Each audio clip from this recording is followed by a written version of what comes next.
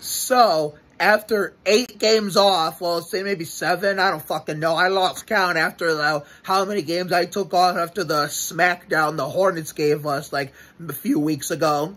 I'm back, bitches. Surrender to Mark Anthony Oliveras. I know it was a shitty Pistons team. I get that, but it's good, good to see that, you know, this team has finally turned the corner, even with the king of bitching it up on the team. And now I feel like now we're using him correctly now, considering that, you know, he was, you know, considering that, you know, when we started off slow, he really was, he really was heading chains from, you know, the, from like when we had him, you know, but like before the one season he left to play for the Bucks, you know, the 2019-2020 season before the shutdowns and everything was stopped, you know, considering like I think we're using him a whole lot better now. And now that um we finally, you know what, probably I think why we turned the corner because Pop finally heard us, got his head out of his ass, and finally gave Jock Landale the backup set, uh, center spot over Drew Trashbanks. The only kind of minutes Drew, minutes Drew Trashbanks should be getting is garbage time minutes. And of course, you know, he had to launch that, he had to chalk that random three and be going on the stream as you saw, what the fuck was that? My God.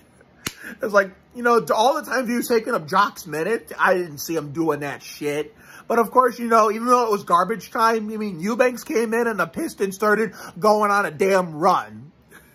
That's because, of course, because, you know, I hope this is the last season we'll see of Drew Banks in the, in the black and silver, considering that I wish we would have kept Metu over him, considering Metu would have been better, but Jesus Christ. I mean, still, I know it was a shitty Pistons team, but a win's a win, a, a beatdown's a beatdown, an ass beating's an ass beating, I'll take it. So, there's really not much to talk about, considering that I had just woken up from a nap like you know when I was trying to turn the game on. You know, considering I was a little late to like bringing you guys the stream. Only one person joined, and it was Seb. Seb. So therefore, hopefully more people will come in for the.